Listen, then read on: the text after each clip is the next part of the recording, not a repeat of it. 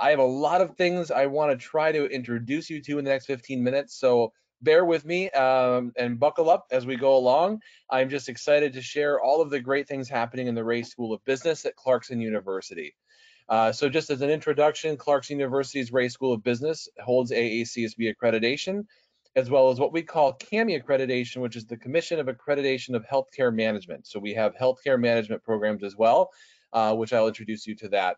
We're also very proud of the fact that this year, both our online MBA and our residential full-time MBA were both ranked in the top 100 MBA programs in the United States. So I want to get that out now uh, before I unfortunately might forget.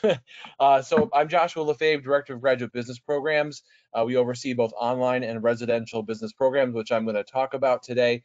Uh, my focus to, uh, this morning for you will be based on the graduate programs that we have However, we do have undergraduate programs in marketing, innovation and entrepreneurship, supply chain management, finance, as well as business intelligence and data analytics. But for today, I'm going to spend the next 15 minutes talking specifically about some of our graduate business programs. But first, a little bit about Clarkson University. We're located in what we call upstate New York. Upstate New York is about six and a half to seven hours drive from New York City, but only an hour from the nation's capital of Canada. So we're in the very northern part of New York State. That's where our primary campus is held. However, we also have campuses uh, in Schenectady, Albany, New York, the capital of our state of New York, as well as a pier in New York City, and a few uh, uh, uh, research centers and estuaries uh, along the Hudson River. So we've we're spreading out um, and growing rapidly. Uh, but as far as the main campus of Clarkson University, we're founded in 1896. We have 4,300 students representing 44 states and 65 countries, and our faculty to student ratio is 1 to 11. One of the most uh, astounding facts that we're so proud of is the nature of, of outcomes so when we talk about the Reh School of Business in Clarkson University, our focus is always on preparing leaders for the future and for the career, for their career, and for success in their career. So over the past 15 years, we've studied alumni and where they've gone after finishing from Clarkson University. And right now, we actually just updated this recently. I didn't get a chance to change this slide, but one in five alumni of Clarkson University are already a CEO, president, business owner, or another C-suite executive. And that really speaks to the successes that our students have, not only in placement when they finish their degree, but also as they build their career. So we're really proud of that fact. And this is a little bit about Clarkson University. We do have athletics, both Division One, Division Three, and I'm really proud of our like our Baja team and a lot of our engineering programs. Uh, funny enough, when I was visiting a college in Bangalore, I came across their Baja team, and they had pictures with our university uh, competing against each other. And it just, it really brings to light how global we are and how we reach out together, we compete together, we learn together, uh, we have fun together, and it's just a wonderful experience uh, to have with that. So that's a little bit about Clarkson. We're also known for STEM and engineering fields. Uh, but as far as the Reh School of Business, we focus on experiential learning, we focus on consulting and partnership with companies, and we work very closely with our alumni to ensure that our curriculum is exactly what they're looking for for uh, future employers. The namesake David D. Reh uh, became that in the fall of 2017. Uh, we're really proud of our alumni and our donor who provided the funding not only for the School of Business, but our, our incubator for entrepreneurship, a lot of great opportunities uh, for us to be able to do more uh, outreach and more experiential learning uh, for students. Uh, and as I mentioned, we have master's degrees, undergraduate degrees, and certificates, uh, as well as we do a lot of executive seminars for uh, business or corporate partners throughout the summer. Okay, and then finally, as far as a little bit about Clarkson and outcomes, Clarkson uh, is about connections. Deep connections and networks of connected alumni and corporate partners give master's students access to industry leaders and exceptional uh, opportunities. As far as experience, because of small class size, our MBA programs require uh, capstone strat strategic courses, working with companies, traveling abroad. Uh, there's always an experiential requirement of all of our programs. And then ROI. PayScale Inc. ranks Clarkson in the top 12 of best master's degree granting programs for, by salary potential. So, and, and I did have a chance to update this slide of the one and five. But really what that tells us is that we are outcome oriented uh, the companies that we work with uh, hire Clarkson alumni and they believe in Clarkson alumni. Last fall, we had, uh, for a campus of 4,300 students, we had well over 200 companies representing a career fair hiring for our employers, or excuse me, for our students. And we just continuously work on, on building that because when you come to Clarkson, it's not just for the degree, it's for the experience. And part of that experience is that the investment you make in your long-term career goals. And that's something we really work very hard for uh, to ensure that that meets the expectations that our students have as they come in.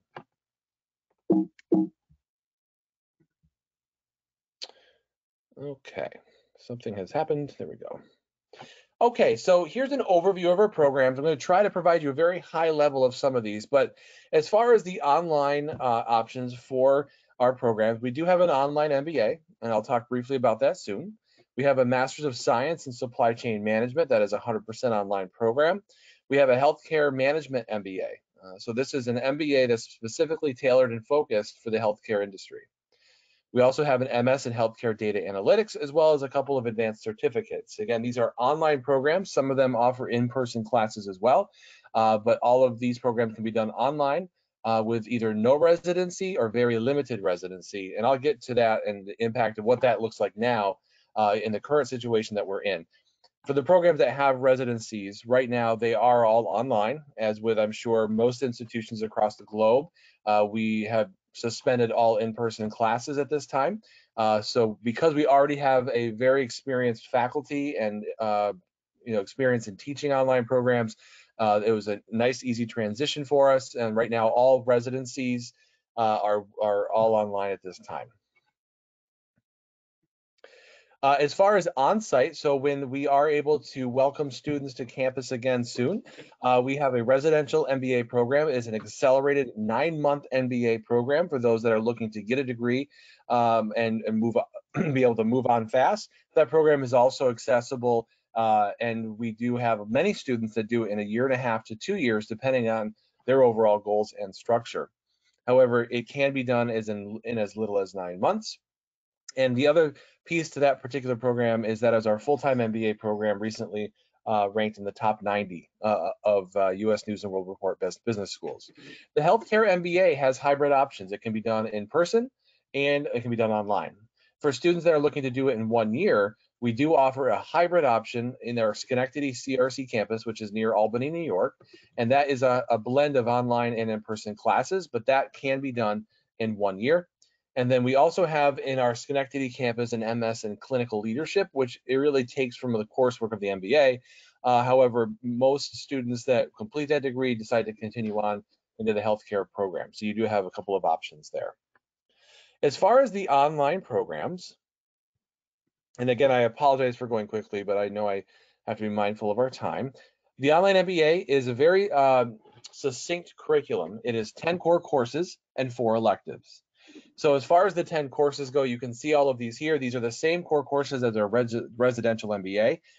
And again, the, the goal of that MBA to give you the business acumen where you're working on synergizing your knowledge of the different functional areas of business and you're understanding the interplay between them all and how a leader uh, makes sound business decisions by in integrating and thinking through all of these different elements of business. So you're going from accounting and your and finance and all of the things related to an MBA we also put in a lot of our core competencies around decision analysis and supply chain management, but then you're free to choose electives that either can span across our, our other programs uh, or you choose electives within the program. Some people choose to do a combined program with our MS and data analytics. Uh, so you're getting a little bit of both. You're getting the data side and the MBA side to really develop a strong business analytics uh, skill set. So you do have that option as well.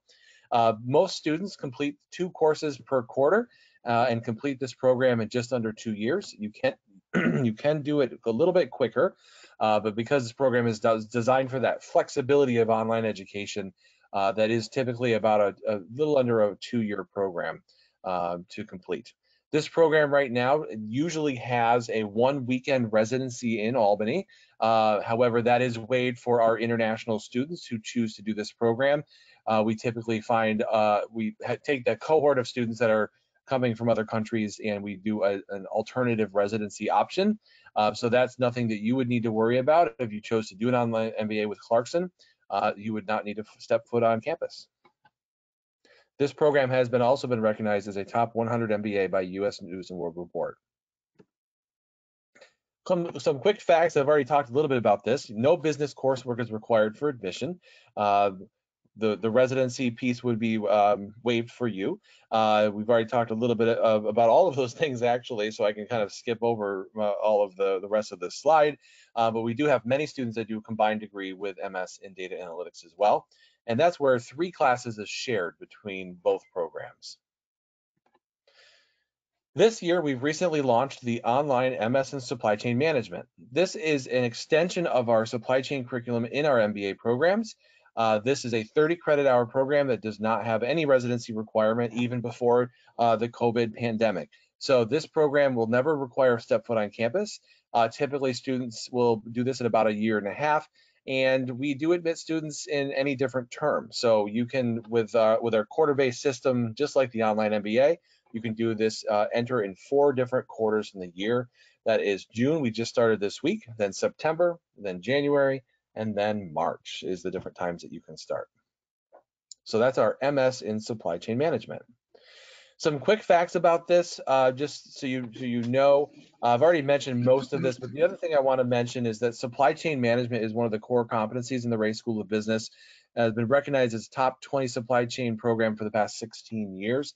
Uh, we really attribute our faculty and their research uh, and their connections with industry uh, uh, to ensure that this curriculum is at its most um, most relevant for the growing and ever-changing fields in supply chain. So the MBA in Healthcare Management. In addition to our online MBA, we have an online MBA in Healthcare. Clarkson is one of only 28 programs in the United States that holds both accreditations for the Healthcare MBA, and that is the AACSB as well as the CAHME accreditation. Uh, recently receiving uh, CAHME reaccreditation uh, just a few months ago. Uh, but we stand as a small amount of institutions that hold both of that. And really that uh, really speaks to the quality, not only as an MBA program, um, but it's recognition in the healthcare field. So whether you're in insurance or hospital or public health uh, or uh, other types of practices like pharmacy, um, all of those fields need leaders and they need adaptive leaders, especially now. Uh, if you look at epidemiology and the role uh, that that plays with leaders, uh, we are one of the only MBA programs that has an epidemiology course as a requirement in the program. This is a 16 course program with 10 week quarters. The core courses are online or in class, as I've mentioned, uh, and the elective courses can be any advanced MBA, both online or in class. Uh, and, and we also have had opportunities to study abroad uh, in Switzerland or France as a part of the experience in the healthcare MBA program.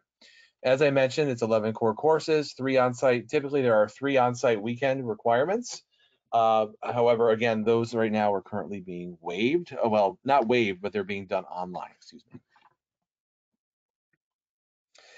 Uh, a lot of people ask, what is the difference between a healthcare MBA and a regular MBA? So if you look at uh, the way that we've set this up, they still have the same core business disciplines, the business functions, the core competencies that an MBA has. The difference is, again, they're focused on the healthcare industry.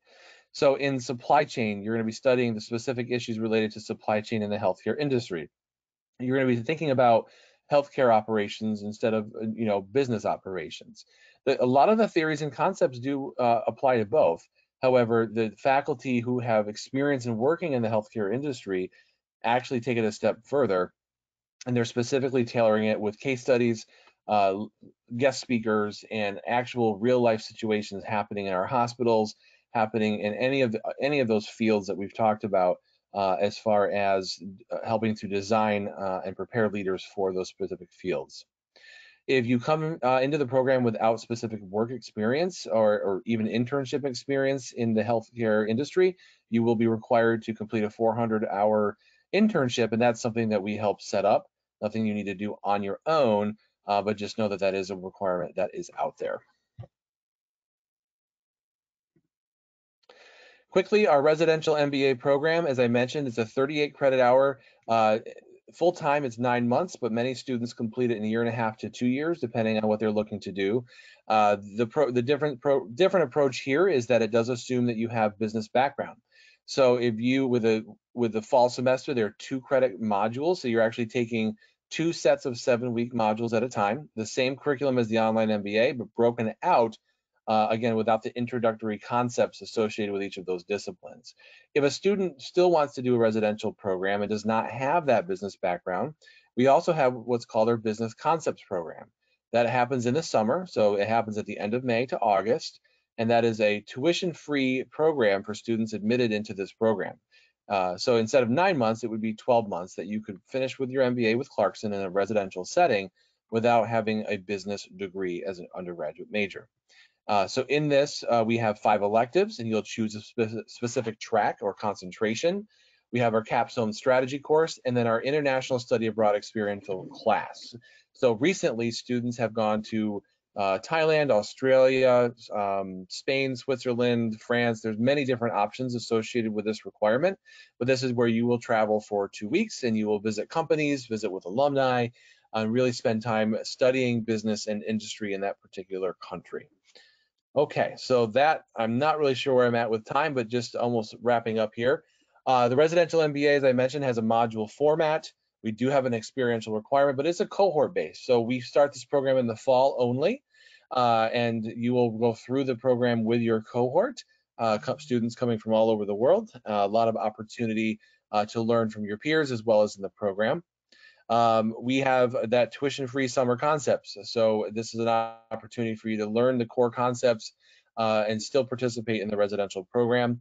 Last year we had 95% job placement, as I mentioned, the top 90 FTE, uh, excuse me, full-time uh, MBA program in the U.S. And while I can't go into a certain level of detail, I'm happy to discuss with anyone afterwards. Uh, but uh, the certificate options here are accounting, environmental management, innovation and new venture, supply chain, data analytics. we have an international track where you can spend a semester abroad at one of our partner institutions. Right now we have Australia, Hong Kong, and France. Uh, or you might want to do a general, we call a general MBA, meaning you just individualize it. you might not want to take all of your electives in a particular discipline. So you'd work with me to really think about what your long-term goals are, what's the skill set you're looking to achieve, and then we would develop a program um, based upon that.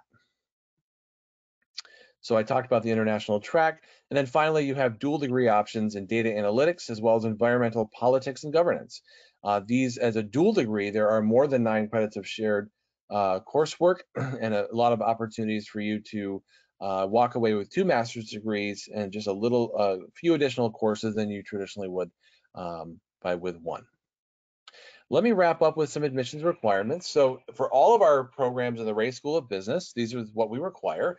Application, uh, your essay or statement of purpose, you know, why are you looking to complete this degree? Uh, how does it fit with your career goals? Your resume or CV, uh, transcripts. So we will accept unofficial transcripts uh, for the purpose of evaluating you for admission. However, at the time that you are admitted and decide to enroll with us, we will need official transcripts that do have the stamp and signature from your institution. We uh, normally require GMAT and GRE scores. However, one of the things that we believe in is access related to uh, providing educational opportunities to everyone in the world, especially with so much unknown going on uh, with COVID. So we are waiving our GMAT and GRE requirements uh, for the quarters and semesters all the way through till spring 2021. So you'll be able to apply uh, with all of the things mentioned here, letters of recommendation. And then as far as the international student requirements, uh, this is something that I will, I'm happy to go into a little bit of detail when I have more time. Uh, however, we do require a uh, equivalency to US bachelor's uh, as well as an English language requirement. So we do have English language scores uh, we accept, um, you know, IELTS, uh, the um, IBT TOEFL, uh, as well as Duolingo. And we, I'm, you know, happy to work through all of those things. And, and typically, um, you know, engineering degrees are three years. We accept those.